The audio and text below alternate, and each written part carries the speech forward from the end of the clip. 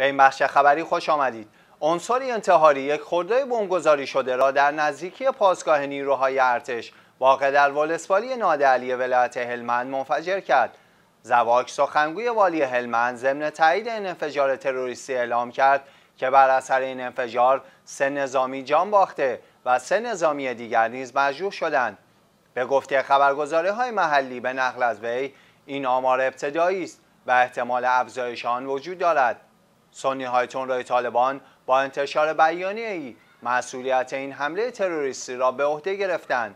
آنها اعلام کردند که در این حمله قرارگاه مشترک نیروهای ویژه ارتش و نیروهای خیزش مردمی هدف قرار گرفته است.